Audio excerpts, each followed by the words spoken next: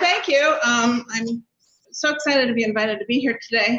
I wanted to ask a question first. Who, is there anyone here, I think, I know there are a couple, who knew my mother or, uh, I know Pete did, Julie did, back up there. Um, I have, we have in the audience Joanna Kafarowski, who's doing a biography, a really definitive, very detailed biography on my mother. So I think she'd be interested in talking with anyone who's willing to about your experiences with my mother. So we will start. Um, I know we're celebrating the 50 year anniversary of the team of women that went down there, but uh, as you know, women did precede that um, expedition and uh, created history before that. All right, this is not going. No, we'll do this one. Neither one. There we go. Push that hard, okay. So before even my mother, um, the the title Antarctica's First Lady is one I kind of came up with my with my mother for her book. Book. Um, um, but she truly was not really the first woman to go there. The first woman to go there was Ingrid Christensen with her friend um, Matilda Wegger. She was a Norwegian, and her husband owned a shipping line of whaling ships. And she went with her husband in 1931. Though she, they all they did was go around the continent, but she did not actually. She sighted land, but not did not go ashore. And here she is with her. Um, she's the, the woman on the left with the fur parka, and her friend is on the right there and her husband is actually on the on the left. And she returned uh, two more times in 33 and 34 with a couple other women who actually don't show up in history books much unless you really get into it. and then the first woman who's credited with stepping ashore is Caroline Mikkelsen, also a Norwegian, whose husband was captain of the same ship, but in 1935 down in those waters. And she set foot on an island. And she was on, on the island for about 15 minutes, enough to raise the Norwegian flag. And um, that was pretty much it. But she is credited with being the first woman to set foot on land in the Antarctic, but not, but it was an island.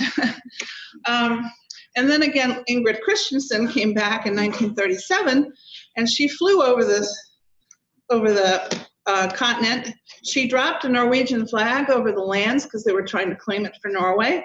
And she went ashore, as you can see in the lower right, with her husband, Lars Christensen.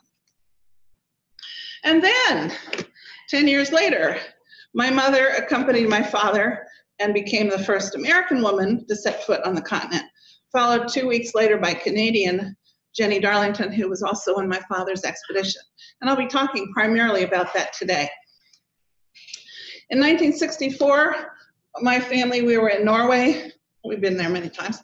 And um, we were invited to dinner at Lars Christensen's home with Ingrid Christensen. And I happened to snap this picture of my parents with the Christensens. So this is kind of a historic picture of the two women who um, kind of are credited with uh, uh, Antarctic history. And then I add in, which has been talked about today, the, the first women at South Pole. You already know about the six uh, women with a journalist along. And in 1971, my mother was the next woman to be at the South Pole. So she's credited with being the first American woman to set foot on the continent and the first woman ever to winter over as a working member of an Antarctic expedition.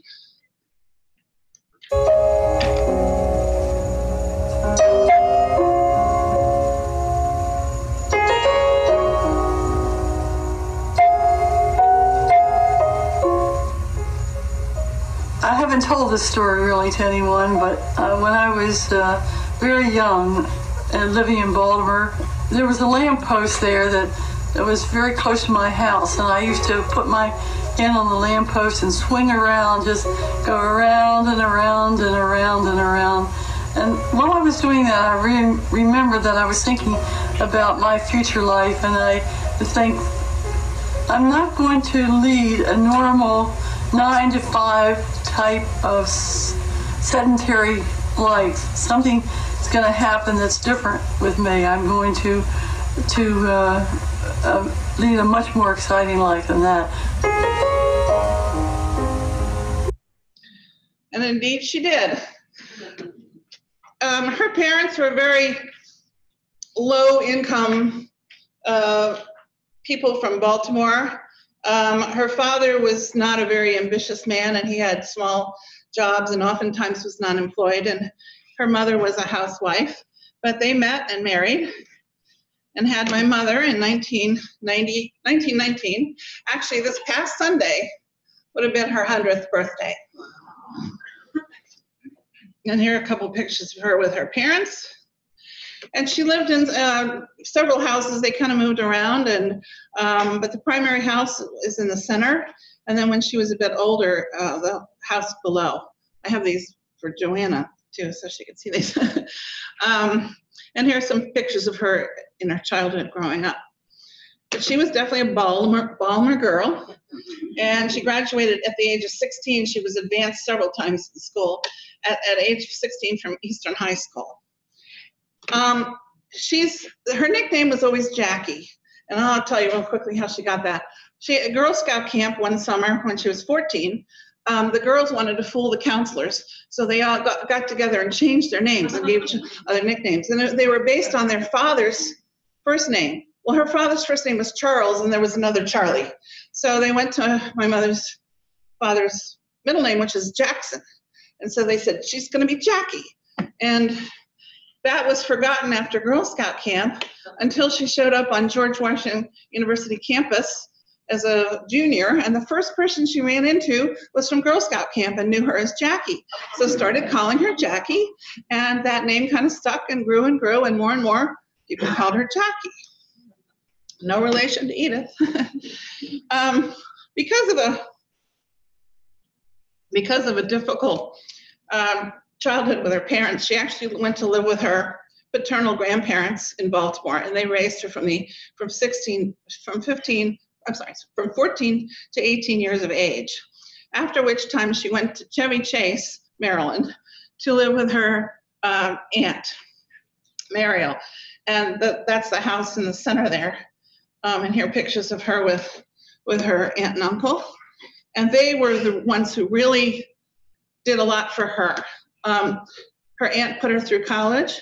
She went to the college, Wooster College of Ohio for two years. And that was the answer in the crossword puzzle, if anybody did it. college of Wooster, that was the answer. Um, and but she majored in boys. So my aunt, so her aunt brought her home to DC to live in Chevy Chase, and she finished going to George Washington University in DC. And she majored in history. She graduated at the age of 20, and uh, she later made history of her own. She started working first for the National Geographic Society. She was a typist, not a very good one apparently, but. and then she later moved over to the US State Department and the Foreign Affairs Office. But here's some pictures of her kind of in those early years around Washington. A woman who later became my godmother introduced my father and mother. Um, they were 20 years apart, but they had in common that they skied. Now, my father, as I'll explain a little bit later, was an expert skier. He ski jumped all over Norway and, and the cross country skied all over the Antarctic. My mother's skiing consisted of going down a tiny little hill in Rock Creek Park between behind the Shoreham Hotel. But they did find things in common and married a year later in 1944. And their honeymoon was, guess what, skiing at Stowe, Vermont. and in their early married life, my father had been to the Antarctic uh, two times before. Actually, great. Um, and um, he promised my mother that he would not go to the Antarctic again, that he was home to stay. But in the back of his mind, he was sort of plotting another expedition to the Antarctic. So my mother married into a family, the Ronne family of Antarctic explorers. And I'll tell you a little bit about them first. My grandfather, Martin Renne, is the way they pronounce it in Norway, he was a sailmaker. He made sails and tents and, and um, trail bags and all kinds of things like that on, on the um, Amundsen. Well, I'll get to that. All right. So he was on um, he was on Roald Amundsen's expedition when he was originally going to the North Pole, but changed to go to the South Pole when he learned Peary had made claim to the North Pole. And um, all the men stayed on board and agreed to go. And my, my grandfather fulfilled the role of, again, of making the sails for the Fram and um, tents and things like that. And so there's a picture of him and the uh, group of men. And he, there's a picture of him there on the, in the field. And he did make the tent, famous picture, I'm sure you've all seen these pictures, um, that Amundsen left at the South Pole. That tent was made by my grandfather. And of course, you all know that Scott arrived five weeks later to find the tent, realizing he had lost that race. And there's a duplicate of the tent in the Fram Museum in Oslo. And he retired in Norway, never to go again. But uh, Byrd was planning an expedition to the Antarctic, and he asked Amundsen if he had recommendations for any crew people. The only person he recommended was my grandfather, who turned him down twice before the third telegram came came over and offered him so much money. He'd never heard of so much money. So, so he came out of retirement at the age of 67, and he was the only member of the Byrd expedition who had been there before. And here he is again with his sewing machine and fixing the tents and trail gear. My father was born uh, 10 days into the 19th century, and he was born and raised in Horten, Norway. His father, Martin, he was on many, many ships, but he would come home just long enough to have another child. There were seven, there were seven children, and my grandmother had to raise them pretty much by herself during that period of time. And so here are a few pictures of him and growing up, and you can see all the children in the center. Um, but he got a degree in naval architecture, and he was a ski jumping champion uh, in Norway. He came to the United States at the age of 23 and a citizen five years later, and he worked for Westinghouse in Pittsburgh. And he joined, oh, yeah, he did later on join the Res- uh, Navy Reserves in 41 from the Antarctic on the uh, US Antarctic Service Expedition. And I love this quote that Carl Eklund, who was a fellow explorer on the uh, uh, US Antarctic Service Expedition, made by inheritance, inclination, and training, Finn is well suited for the explorer's trade. When he, uh, from, from the Antarctic, Byrd cabled my father, and he said, if you are half as much a man as your daddy, I will be delighted to take you on my next expedition.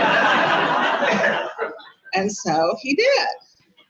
So my father was on the second Byrd expedition, and he was the ski expert and dog trainer for that. And here's some publicity photos that were taken of him uh, with the dogs. This is a, a side story, but it's kind of a cute story. So when they returned, when Byrd returned to Little America, and he was showing my father around specifically, and he wanted to show my father the bunk that his father had had. And they went to see the bunk, and on the wall was written Finn Ronne. Martin, his father, had written his name on the bunk out of seven children. He wrote Finn Ronne. And Byrd said he didn't see that before he had left from the first expedition. He must have done it at the last minute. So, of course, my father had to have the same bunk. And it was not so great because it was right next to one of the doors going outside, and it was always very cold. anyway, so then my father made actually plans for his own private expedition. But in planning it and trying to get help for it, the um, actually the National Park Service at the time uh, took it took the expedition over, and then Byrd was made titular head of it, and it was the U.S. Antarctic Service expedition. And my father was second in command at East Base in the peninsula area, and he was also in charge of uh, constructing the buildings that were were- that were going to be their base there. So he, you can see pictures of him overseeing that. World War II drew to a close, Finn once again began making plans for his own expedition.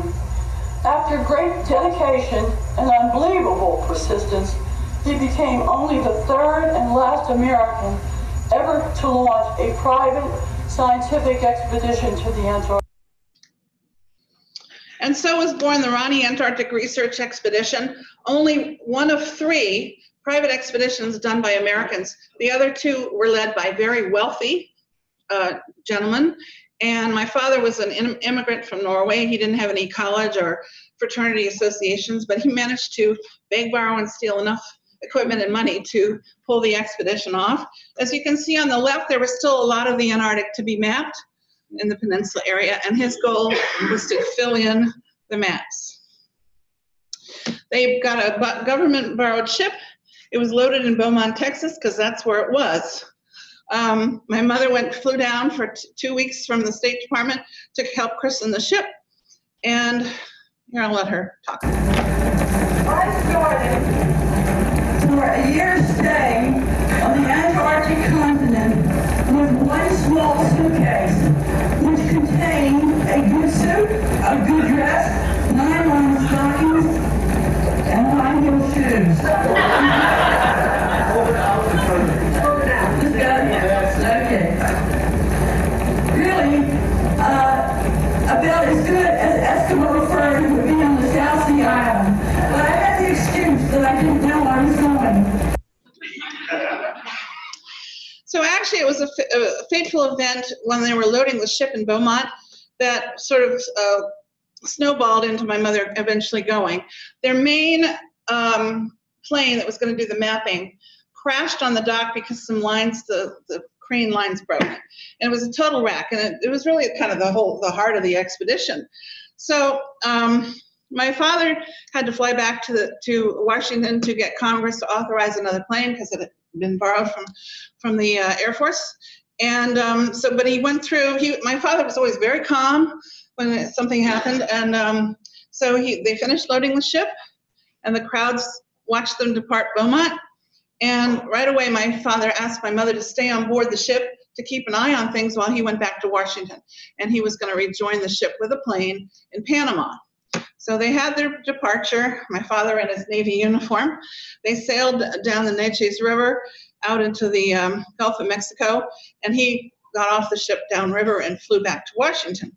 So my mother stayed on board because um, she had helped my father plan the expedition. His native no- language was Norwegian, and so she did a lot of the editing of all his letters and um, everything he was working on. So she was intimately involved in the planning, and so she could kind of keep an eye on things. She knew what to keep an eye on, and while he was gone, and the, that was the beginning of him saying, my father telling, saying to my mother, "Why don't you come along? You'll be more helpful to me there." And she's like, "No way, not a chance." Um, and so it was being discussed on the way down to um, Valparaiso, Chile, and you know they talked to the other expedition members, many many of whom were opposed because this was not not considered.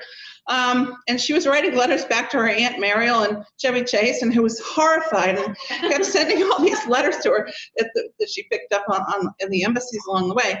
And um, well, I guess I have it on another slide. But in the last letter that she received, my aunt was desperate, and she said, "And don't forget, you're going to ruin your complexion." And so my mother decided Finn needs me and I'm going to go with him. And that's in her diary. So they convinced, she convinced Jenny Darlington, a Canadian a woman who was married to the chief, had just married the chief pilot. She wrote that book, Antarctic Honeymoon, um, uh, to go along. And that was the only way my mother would agree to go. And so her husband, Harry, was not enthusiastic at all. But she did agree to go. She went without any specific job title. Uh, but my mother was officially made the official recorder and newspaper correspondent on that. So they headed south, and that was, yeah, there's about my Aunt Mariel. And don't forget, you might ruin your complexion. Um, so my mother was like, here she is approaching the ice pack, and she's going, what the hell did I get myself into? so, but when she went, my father executed some documents that provided my mother would take over the leadership of the expedition if something happened to him on a ill-fated flight or anything else. Of course, the men didn't know that. They would have not been happy with that, but unfortunately that didn't come to pass. But she knew the commitments that the uh, expedition had to various um, companies who were supporting it, and so she was a logical one to take over if, if need be. And here's a picture actually that she took first coming into Stonington Island. The base is located in the peninsula area in Marguerite Bay. They're different views of it there. And these are pictures from the flyover where the star is. I do have a pointer here. Where the star is, that's where the base is. The, the site was chosen, it's an island, but it was chosen in the US Antarctic Service Expedition in 39 because it had a connection to the mainland, which um, enabled the dog sleds to go directly over into the mainland area. And it was this was also used as a runway for the planes to take off. Today, all gone. It's an independent island. So they were unloading, um, moving the supplies from the ship around to the uh, base and reoccupying those buildings from the US Antarctic Service expedition. I have to tell you a little bit about the expedition in order to put my mother's being there in context. So um, they purposely froze the Port of Beaumont ship into the ice. It's the first time a ship was purposely frozen into the ice uh, for the entire winter. And they waited, they unloaded everything, but they waited until the ice around it froze solid so that they could unload the heavy airplanes. And in her diary, she says, I am, I believe, the first woman to set foot on the Antarctic continent. Of course, we learned later that she was not, but um, she can claim the first American woman. um, here she is helping my, helping the couple of guys raise the U.S. flag on um, the reclaimed U.S. base. When I stepped ashore with them, it was brought to my attention that I was the first American woman to set foot on the continent. Finn and I lived in a 12-foot square hut. I wrote newspaper releases for the North American Newspaper Alliance and the New York Times, while Finn plotted plane flights and dog team routes for sledge parties to follow in the field when the sun I'm gonna have to move along because I'm running out of time. Anyway, here's pictures, old pictures on the left, new picture that I took in 95 on the right. You can see the snow is not as deep as it was. And here is the Ronne hut where they stayed and the 12 by 12 hut for um, the time they were there for 15 months. Um, on the left again, as it was in the old days and how it looks more recently. And there, there was a connection, there was a canvas passageway that connected the bunkhouse to the Ronne hut. And I have a clip of my mother saying this, but um, it's not a good clip. So, but basically, she talks about how everybody would struggle with the toilet paper in the outhouse, and the winds would come up, and it would keep flying up, and she'd have to grab it, and, and uh, that sort of thing. And no, but nobody talked about it. And finally, uh, somebody did, and everybody burst out laughing because they were all having the same experience. And so during the winter night, um, the men, well, they lived kind of, you know, normal stuff. I'm sure those of you who have been there uh, overwintering know, you know, you have an in, indoor routine. And um, they watched a lot of movies um, and got, and they did a lot of preparations. Well, they had social events too. And uh, they celebrated winter night and Christmas and things like that. And that was the only time my father allowed them to have alcohol, but they kind of made their own alcohol anyway. um, and the winter night, they did a lot of preparations for um, the coming summer months when they would be out in the field flying and doing dog sledding.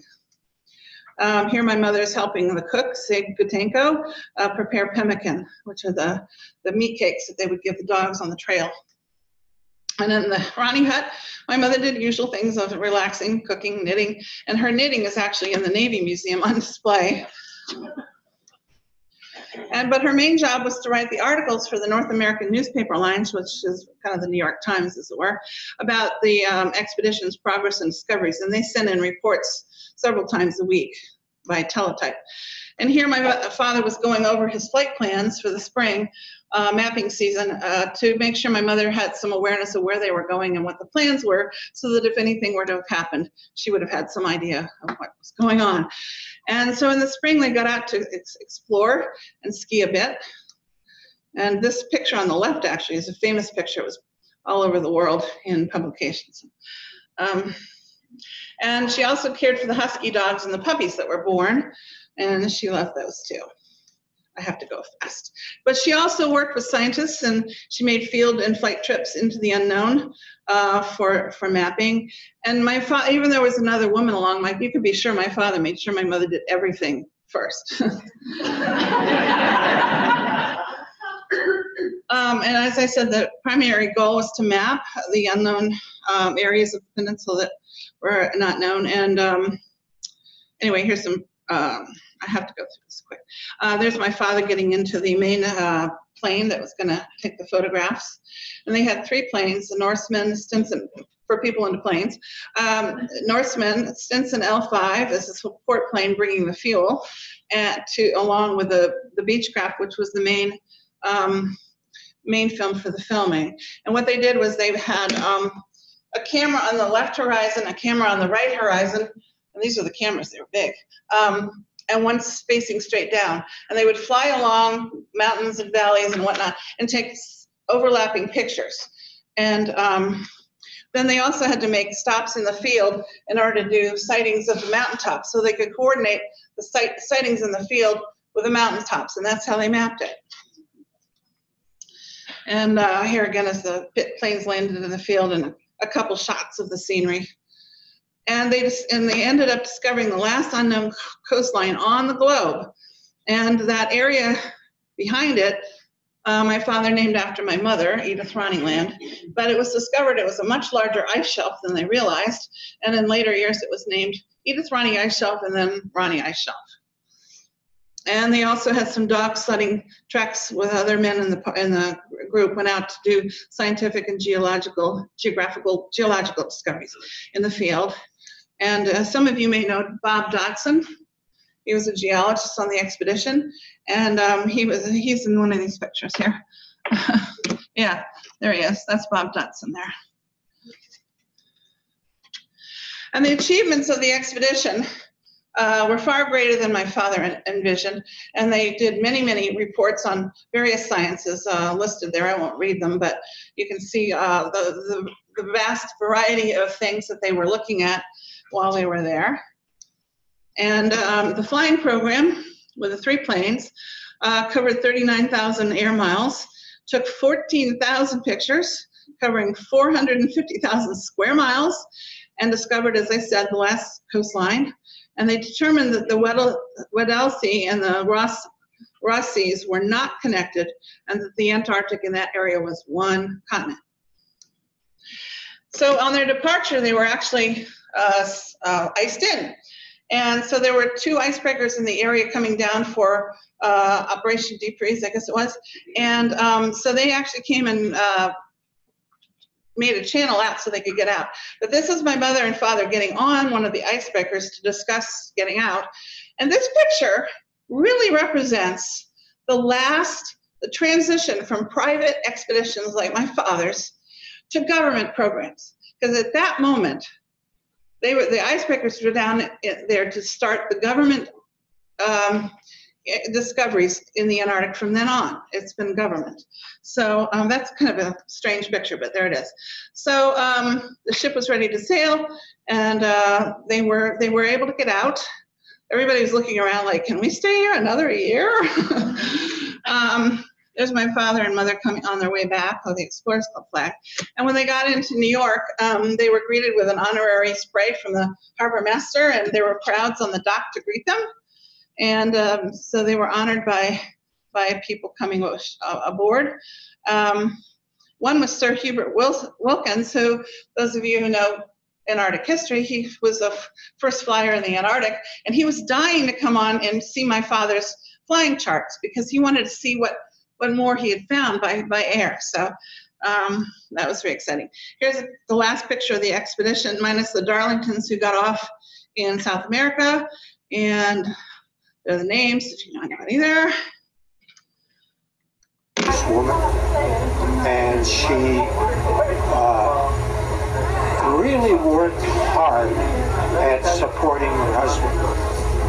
And she was interested in the science that was being done, and she still is.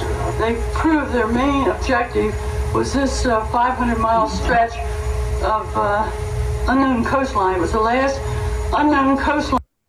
Well, I'm going to just go on. Um, I thought y'all enjoy seeing my mother talk because you get a sense of who she is. I was born in 1951, no secret, um, and I grew up. I grew up uh, in, with this. It was always part of my life growing up even my birth announcement was Antarctic Explorer born. Um, and of course, I was in the rec- requisite parkas and fur parkas, and so they returned much publicity. And my mother did um, uh, a lot of publicity things, though they didn't really seek publicity. I'm going to skip turned out, just don't have time.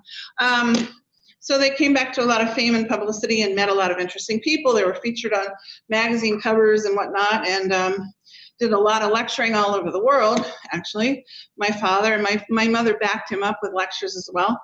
And um, then she spent many years writing the um, Britannica articles for the annual updates, and um, she authored all those for many years.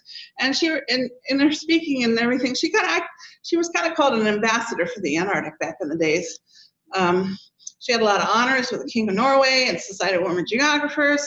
She met a lot of interesting people. Neil Armstrong, was signing the uh, Explorers Globe, American Geographical Society's Explorers Globe. She and my father returned. Uh, they went to the South Pole in 1971, um, and here they are there. Um, my father authored five, uh, four books, and though his name is on it, she really wrote a lot of it and um, edited thoroughly edited his books. And my father died in 1980 at the age of 80 and is buried in Arlington. And she outlived him for 29 years. She was a guest lecturer on um, nine tourist cruises on the Explorer and the Marco Polo, and I got to go with her uh, six six times. Um, and we did return to Stonington Island um, in the Antarctic, uh, where she was. And um, so she showed me around. We got actually we were we were taking a shore before everybody else, so we she could show me around. And I I don't have time for that. Um, Um, and I'm putting this out there. If anybody wants to dispute it, I'd like to know. But I'm putting it out there that I believe that our family is the first of four generations in a family to have visited the Antarctic because I was there with my kids. So I'm saying my grandfather, father, mother, me, and my kids. So if anybody knows of any family that has that record, I'd like to know about it. But I'm putting this out there.